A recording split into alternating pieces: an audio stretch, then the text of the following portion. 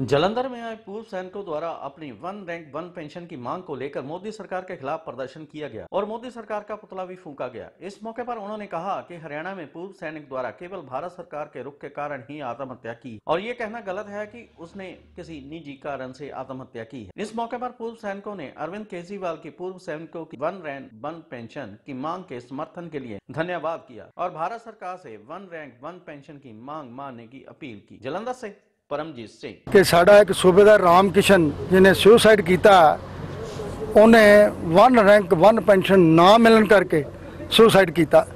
ਜਿਹਦੇ ਉੱਤੇ ਸਰਕਾਰ ਨੇ ਤੇ ਕਈ ਸਰਕਾਰ ਦੇ ਪਿਠੂਆਂ ਨੇ ਬੜੇ ਸਵਾਲ ਉਠਾਏ ਕਿ ਨਹੀਂ, ਉਹ ਤੇ ਬੈਂਕ ਤੋਂ ਪੈਨਸ਼ਨ ਨਹੀਂ ਮਿਲੀ, ਉਹ ਤੇ ਵੈਸੇ ਹੀ ਤੰਗ ਆ ਕੇ ਉਹਨੇ ਆਪਣਾ ਜਿਹੜਾ ਸੁਸਾਈਡ ਕੀਤਾ, ਇਹ ਗਲਤ ਆ। ਅਸੀਂ ਸਰਕਾਰ ਨੂੰ ਦੱਸਣਾ ਚਾਹੁੰਦੇ ਆ ਉਹ ਐਕਸ ਸਰਵਿਸਮੈਨ ਸੀ, ਉਹਨੇ ਬੜੇ ਚੱਕਰ ਮਾਰੇ ਡਿਫੈਂਸ ਮਿਨਿਸਟਰ ਨੂੰ ਮਿਲਣ ਗਿਆ, ਲੇਕਿਨ ਡਿਫੈਂਸ ਮਿਨਿਸਟਰ ਨੂੰ ਮਿਲਣ ਤੋਂ ਇਨਕਾਰ ਕਰਤਾ। ਉਹ ਬੰਦਾ ਇੰਨਾ ਦੁਖੀ ਹੋ ਗਿਆ ਕਿ ਅਲਟੀਮੇਟਲੀ ਉਹਨੇ ਸੋਚਿਆ ਕਿ ਮੇਰੀ ਜ਼ਿੰਦਗੀ ਦਾ ਕੋਈ ਮਤਲਬ ਨਹੀਂ, ਜੇ ਕੋਈ ਸੁਣਦਾ ਹੀ ਨਹੀਂ, ਇਸ ਕਰਕੇ ਉਹਨੇ ਜ਼ਹਿਰ ਖਾ ਲਿਆ।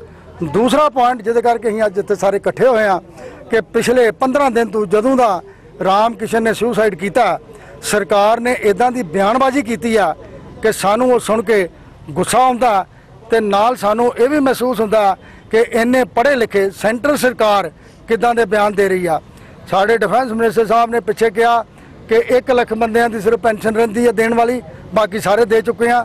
ਹੁਣ ਅੱਜ ਦਾ ਜਿਹੜਾ ਬਿਆਨ ਆਇਆ ਪੇਪਰਾਂ ਦੇ ਵਿੱਚ, ਉਹਨੇ ਕਿਹਾ ਕਿ 95% ਲੋਕੀ ਜਿਹੜੇ ਹੈਗੇ ਆ, ਜਵਾਨ ਤੇ ਜੇਸੀਓ, ਇਹ ਸਾਰੇ ਖੁਸ਼ ਆ। ਸਿਰਫ 4 ਤੋਂ 5% ਇਦਾਂ ਦੇ ਲੋਕ ਹੈਗੇ ਆ, ਜਿਨ੍ਹਾਂ ਦੇ ਕਾਗਜ਼ ਡਾਕੂਮੈਂਟ ਪੂਰੇ ਨਹੀਂ ਤੇ ਇਸ ਕਰਕੇ ਪੈਨਸ਼ਨ ਨਹੀਂ। ਸਾਡੀ ਸਮਝ ਤੋਂ ਬਾਹਰ ਆ ਕਿ ਕਿਹੜੇ ਡਾਕੂਮੈਂਟ ਦੀ ਉਹ ਗੱਲ ਕਰ ਰਹੇ ਆ। ਜਦੋਂ ਬੰਦਾ ਰਿਟਾਇਰ ਹੁੰਦਾ ਉਹਦੇ ਸਾਰੇ ਡਾਕੂਮੈਂਟ ਆਟੋਮੈਟਿਕਲੀ ਤਿਆਰ ਹੋ ਜਾਂਦੇ ਆ।